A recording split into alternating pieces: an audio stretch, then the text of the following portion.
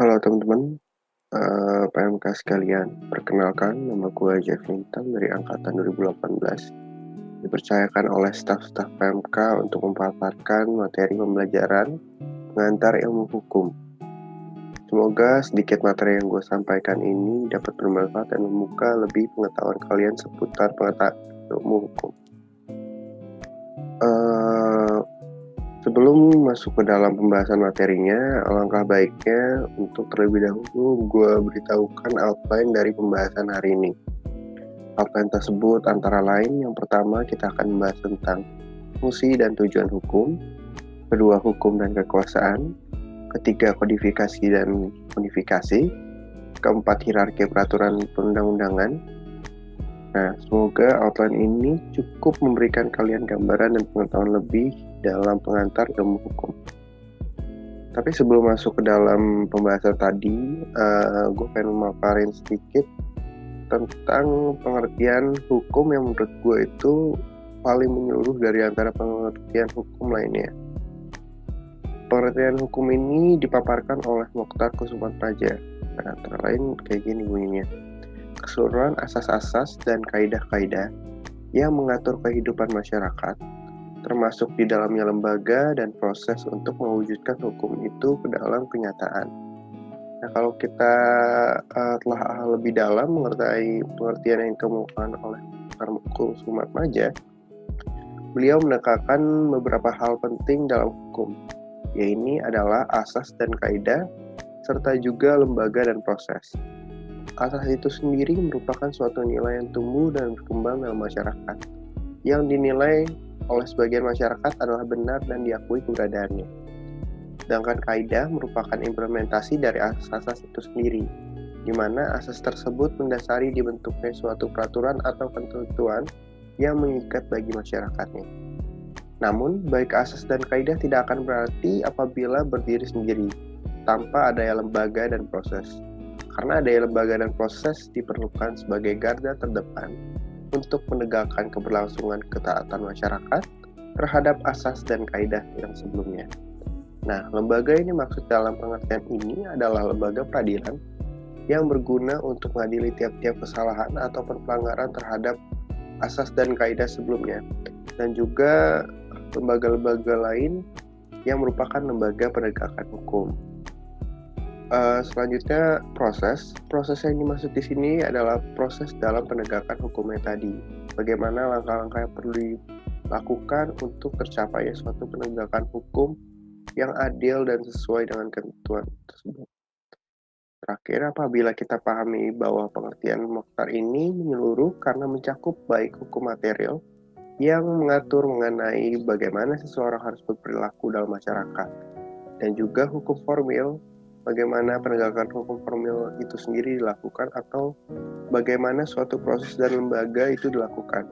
Jadi pada intinya hukum material dari pengertian Mukhtar ini adalah asas-asas dan kaidah dan pengertian hukum formil dalam pengertian hukum menurut Mukhtar Kusumat Maja ini adalah hukum dan uh, lembaga dan proses.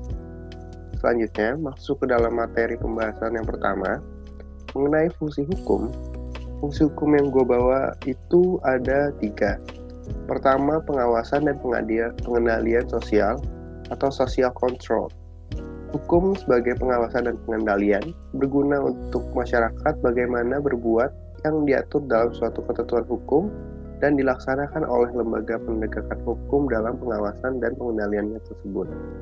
Kedua, penyelesaian sengketa. Penyelesaian sengketa yang dimaksud di sini adalah apabila seseorang memang melakukan suatu perbuatan yang melanggar hukum, maka seseorang tersebut ditegakkan melalui suatu lembaga penegakan hukum untuk dapat diadili atas pelanggarannya tersebut. Ketiga, eh, rekayasa sosial atau biasa juga disebut dengan social engineering. Fungsi hukum ini berguna untuk merekayasa seseorang agar dapat berubah sesuai dengan apa yang hukum kehendaki. Karena sejatinya suatu hukum memiliki kuasaan memaksa untuk diikuti agar seorang dapat mengubah pola pikir sesuai dengan hukum itu sendiri. Nah, selanjutnya masuk ke dalam materi tujuan hukum. Antara tujuan hukum dan fungsi keduanya itu juga memang saling beririsan dan berkaitan. Berikut merupakan pendapat-pendapat ahli mengenai fungsi hukum. Ini pertama yang dikemukakan oleh Prof. Subekti.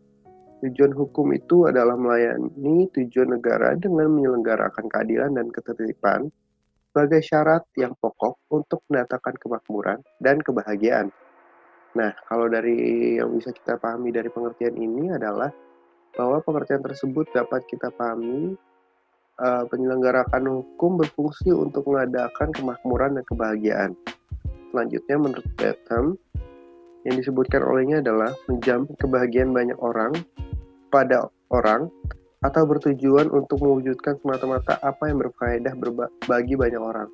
Nah, menurut Betham ini yang perlu kita perhatikan bahwa pendapat Betham ini dikenal dengan teori utilities yang mengedepankan hukum harus bermanfaat untuk kebanyakan orang atau fokusnya pada jumlah orang yang diberikan manfaatnya. Yang tiga itu menurut teori etis atau menurut teori etis ini adalah hukum itu semata-mata menghendaki keadilan atau memiliki kesadaran etis. Kalau yang kita perlu tekankan dari teori etis ini bahwa ia menyatakan antara fungsi hukum dan keetisan itu harus sama baik ya.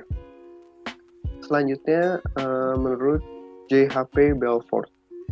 Dia menyatakan bahwa fungsi hukum adalah hukum harus ditentukan menurut dua asas, yaitu keadilan dan faedah. Artinya bahwa antara keadilan harus menimbulkan suatu kefaedahan bagi masyarakatnya. Selanjutnya menurut Prof. Mr. J. Van Kan, menurut pendapatnya, hukum bertujuan menjamin kepastian hukum dalam masyarakat. Nah, arti dari kepastian hukum itu sendiri berupa bahwa setiap orang memiliki hak yang sama akan setiap hukum yang mengatur dan tidak berubah-ubah terhadap seseorang dan yang lainnya. Pada intinya, dari uh, dari fungsi-fungsi yang dikemukakan oleh para ahli tersebut, terdapat benang merah yang dapat ditarik dalam keseluruhannya, di mana dalam setiap fungsi ahli tersebut menyatakan bahwa penyelenggaraan keadilan dan keamanan dilakukan untuk kesejahteraan dan melindungi masyarakat banyak. Materi selanjutnya mengenai hukum dan kekuasaan. Mengenai hukum dan kekuasaan, saya mengutip salah satu quotes Ali mengenai hukum dan kekuasaan itu sendiri.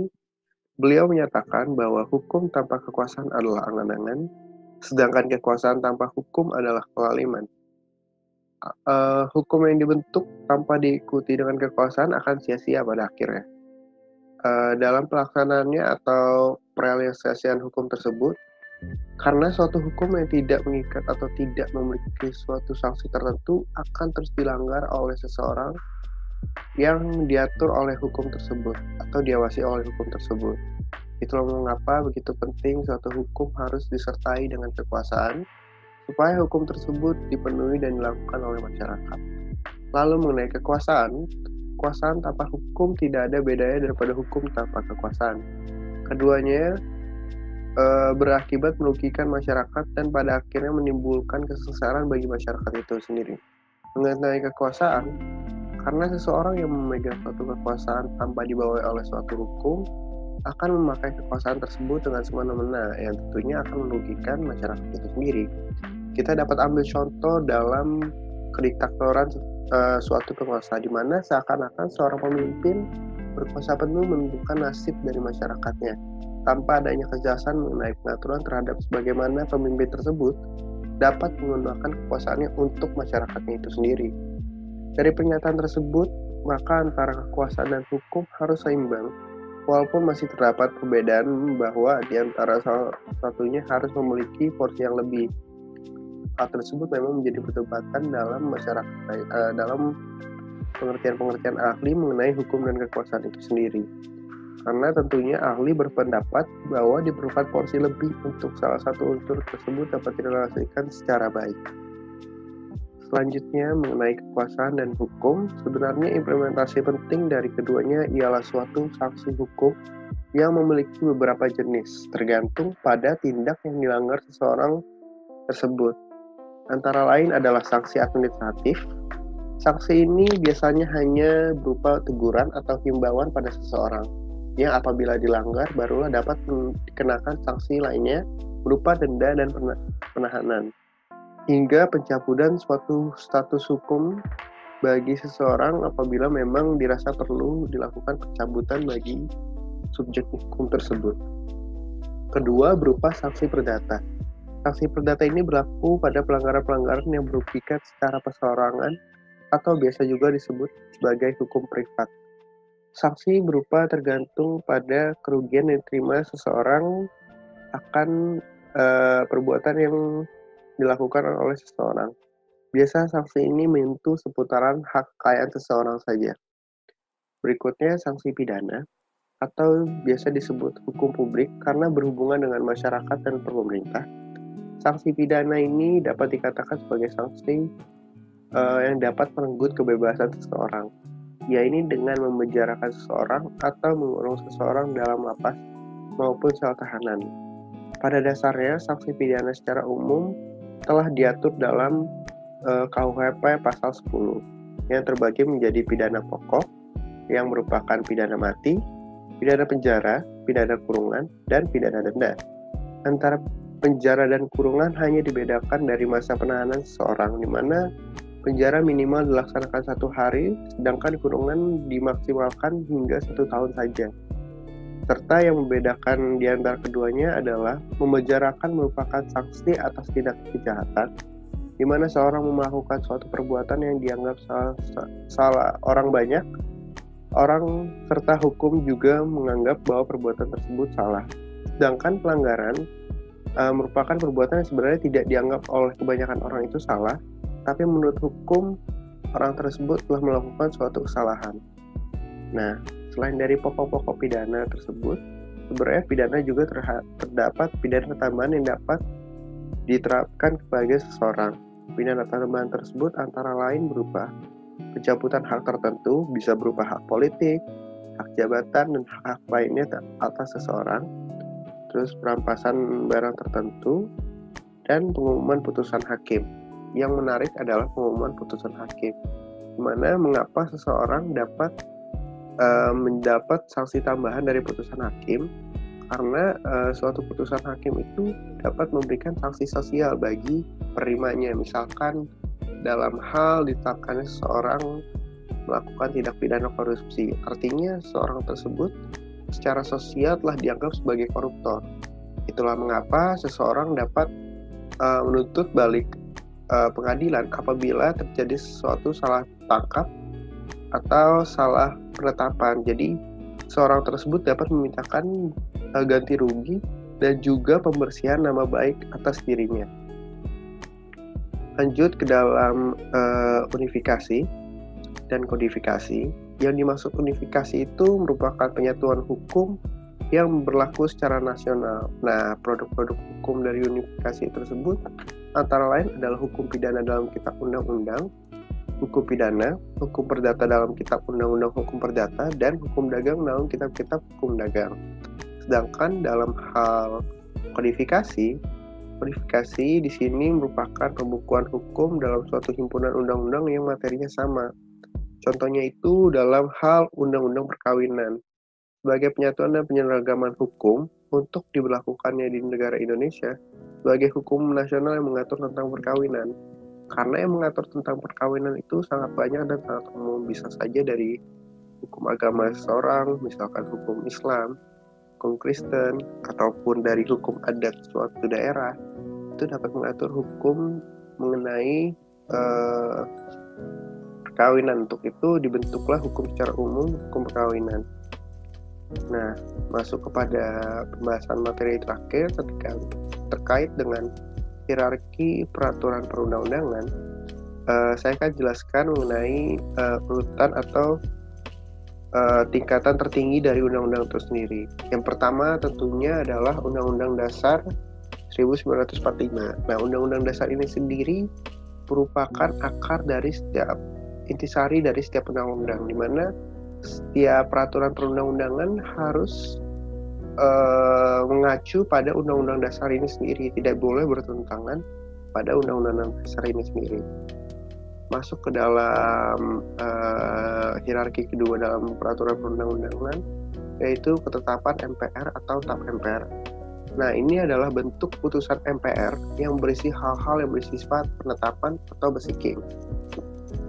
Kedua itu masuk pada peraturan pengganti undang-undang atau undang-undang.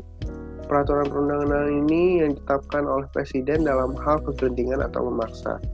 Kalau undang-undang itu jelas ya yang ditetapkan oleh Dewan uh, Perwakilan Rakyat dengan persetujuan presiden. Uh, selanjutnya itu peraturan pemerintah Peraturan pemerintah itu adalah peraturan perundang-undangan yang ditetapkan oleh presiden untuk menjalankan undang-undang sebagaimana mestinya. Biasanya peraturan ini bisa juga disebut sebagai uh, peraturan pelaksana. Sama halnya dengan peraturan presiden. Peraturan presiden itu merupakan perundang-undangan yang ditetapkan oleh presiden untuk menjalankan pemerintah undang-undang yang lebih tinggi atau dalam menyelenggarakan kekuasaan pemerintahan itu sendiri. Selanjutnya mengenai peraturan daerah provinsi adalah peraturan perundang-undangan yang dibentuk oleh Dewan Perwakilan Rakyat daerah provinsi dengan persetujuan bersama gubernur. Dan yang paling rendah dari segala perat hierarki peraturan perundang-undangan itu sendiri adalah peraturan daerah kabupaten. Peraturan ini adalah peraturan perundang-undangan yang dibentuk oleh Dewan Perwakilan Rakyat dalam kabupaten dan kota dengan persetujuan bersama bupati dan atau wali kota. Nah, antara hierarki ini, hierarki yang berada di bawah hierarki lainnya tidak boleh bertentangan dengan hierarki yang ada di atasnya. Karena balik lagi, hierarki yang ada di atasnya itu mempunyai kekuatan yang lebih dibandingkan hierarki yang bawahnya. Untuk itu kita perlu memperhatikan hierarki-hierarki ini dalam menentukan suatu dasar hukum supaya eh, dasar-dasar uh, hukum tersebut tidak bertentangan satu dengan yang lainnya.